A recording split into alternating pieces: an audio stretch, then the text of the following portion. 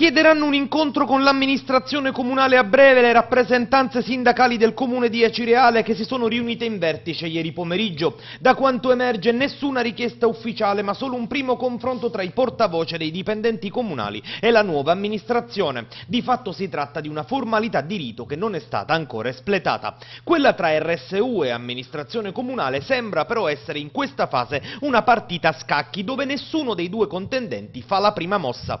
I sindacati vorrebbero chiedere la delegazione trattante, ma non lo fanno perché di fatto in questo momento non c'è nulla da trattare, visto che il piano di spending review non è stato ancora approvato in giunta. Se ne parlerà la prossima settimana. Roberto Barbagallo e la sua squadra di governo dal canto loro stanno valutando modi e tempi per chiedere sacrifici al personale dell'ente, preso atto del fatto che è venuto il momento di tirare la cinghia.